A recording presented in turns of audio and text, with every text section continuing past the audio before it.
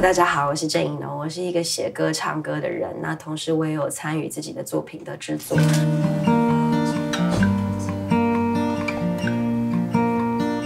对我来说，我自己认为擅长的东西就是用歌词去建立与大家的桥梁。然后我对文字这件事情很着迷。那同时我好像还蛮会唱歌的，所以这些都是我的武器。大家好，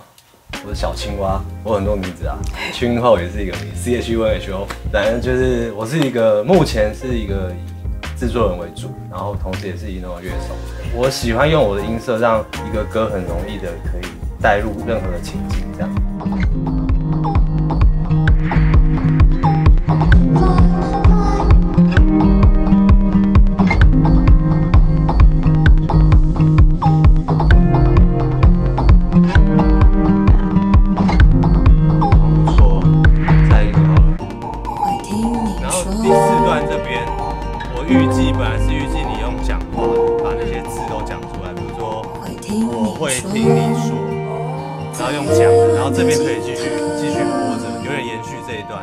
就是按你讲话的。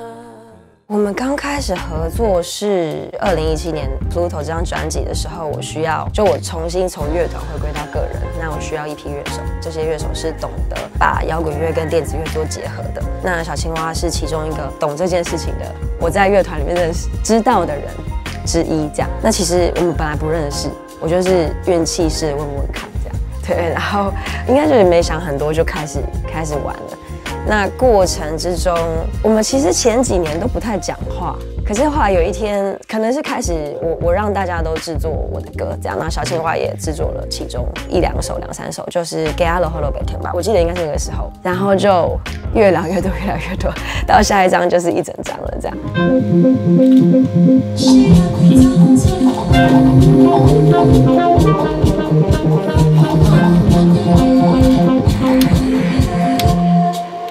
还是你觉得行？好像蛮行的。现在听起来有个老人的声音啊。当我放弃了世界。对，然后所以第一个可能就会直接 play 这个。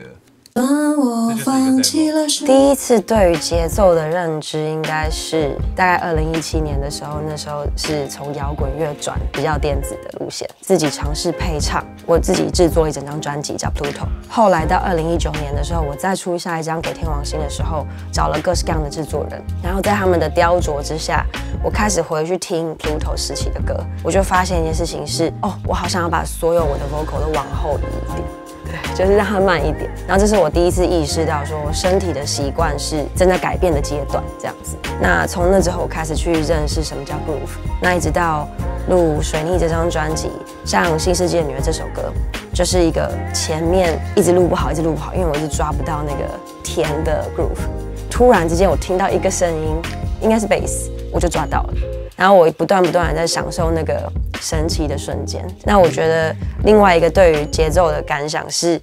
我觉得它很像桥梁，因为其他的东西，例如音色或是什么的，每个人可以有自己的诠释跟解读。可是节奏这个东西，是你在现场一下，所有的人身体就会一模一样开始动。我觉得这是一个很神奇的事情。我第一次认知到节奏这件事，其实因为其实我以前也是玩乐团，然后那时候就是节奏部分都是交给鼓手，然后其实以前小时候根本没有在想这种事。然后其实我跟尹东一样，我也是一个就是以前往往都是很 ahead 的，就是 solo 什么我一定都要喷最前面，因为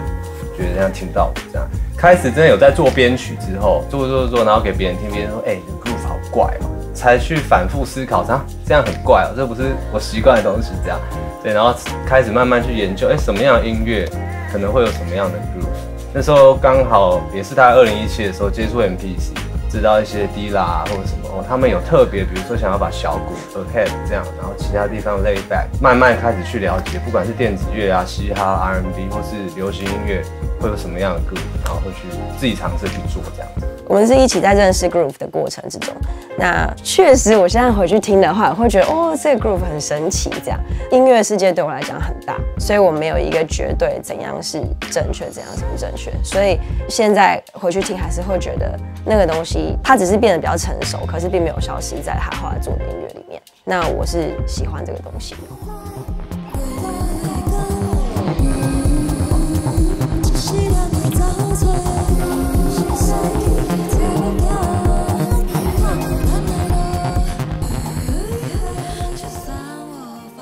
第一次对于音色认知应该就是在刚开始玩乐团就开始，因为吉他嘛，每一个吉他都会不一样，不同牌子、不同型号都有不同的声音。然后因为我又是特别喜爱效果器的人，所以从那时候开始我就觉得，哇，接好多效果器好酷，我可以做出各种各种不一样的声音。这样，其实我我家有这么多合成器，就是因为我太爱音色，我太喜欢自己去做属于我自己的音色。基本上我不太使用软体乐器。然后我也不太使使用琴上面的 preset，比如说我我的模组好了，他们根本没有 preset，所以他变成说我要这个声音它是什么波形，然后它要怎么样进入 filter，怎么样进入 envelope，就是这些是必须要你自己去 patch。对，然后我就觉得这个过程很爽，感觉我就是一个理科生之类的。除非我们特别要做成某个年代的歌曲，需要比如说 Juno 的 pad 音色，或是八音八鼓，不然其实基本上我所有的从节奏到 topping 上面的声音，全部都是就是我要把自己做出来这样。如果小青蛙是理科生，那我就是文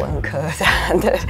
我其实也是从乐团时期使用效果器开始，开始接触电吉他，然后那时候跟随着各式各样的前辈们，尤其我的前辈很多是在玩后摇的，所以我就是研究他们用什么效果器，去理解说什么什么样的 reverb 是好听，什么样的 delay 是好用。可是我在使用他们的时候，我想的事情都是，比如说我想要这首歌有回忆的感觉。或是我想要这首歌有山的感觉，呃，很拥挤的感觉，很爆裂的感觉，等等的，我都是用感觉去去跟我的音色相处，一直到现在都还是。呃，我常常自己调半天，我不知道我自己调了什么，但我知道这是我要的。那我在丢给小青蛙之后呢，它就会再把它优化，对，或者是它可能会提供一个别的音色，可是可能跟我是类似的逻辑。那有的时候他打破我的逻辑，其实基本上我也都会接受了，就是 他就会又发展出新的故事，这样。反正我就在这个过程之中，慢慢的去理解，经过他的手之后变得好听了，为什么？对，可能是变厚了，可能是加了某个频率。那我下次自己在家里玩的时候，我也许就会仿照他的声音去做出类似的感觉。那这是我练习的过程。就算我放弃了世界，请你别放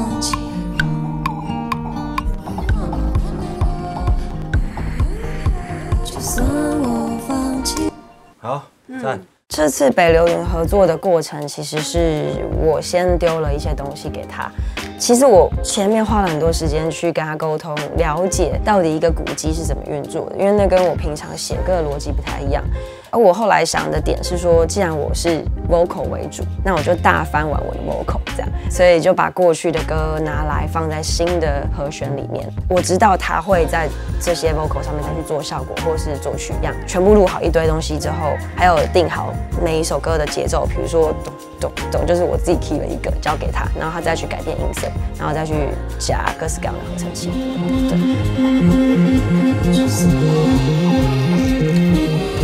这个 vocal 的逻呃修改逻辑其实就是跟玩 MPC 是非常类似的东西，因为 MPC 大家也会大量取样 vocal sample，对。至于它怎么触发，然后什么东西好玩有趣，也是因为这长年来在使用这个乐器这样。因为按下去之后不是会跑出图样嘛？对，那。对我来讲，歌词是很重要的一件事情，所以这一次有特别去沟通说，哦，那我们要以就是一些关键字，然后让它做出来之后，可以让大家自己堆叠出自己喜欢的句子。比如说新世纪的 Double Game 这一句就是一个关键，然后跟 Fly Darling 这些东西是断不断在拼凑，那它应该可以是，比如说新世纪，然后 Fly Darling 这样，但是它可以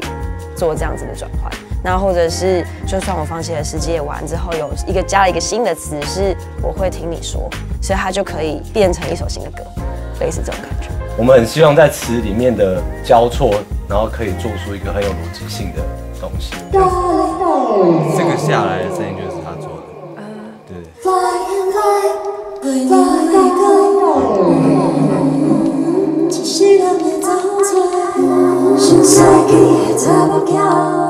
我觉得我这个设计的比较酷一点，最好的状态就是要两人操作。比如说怡农就是负责按他的 vocal，我负责做音乐 backing 和效果，这样会是一个这个鼓机最完美的发挥。因为其实怡农很喜欢唱一些先行拍，但在我们现在现有的鼓机架构，我们没办法在切换两个 sequence 的时候唱出先行拍。所以当他自己处理他的 vocal 的时候，他就可以在切换的时候算好拍子先行下去。对，然后我可以直接切换 sequence。让这个歌听起来更像完整的歌，因为我没有那么呆板，只能在这个 sequence 下玩这些东西。因为我是以 vocal 为主，那其实这个古吉它本身有一个功能是大家可以录自己的词曲在里面，对，所以你可以让这首歌变成又另外一首别的歌。那我等于是我们有一个文字接龙的概念。这次也很感谢北流云邀请我们来参与这个 TMC CL One 的古机制作，很好玩，很有趣，包含了很多在这个时代蛮酷的音乐人作品。然后我们在里面可以放入自己的 preset，跟大家产生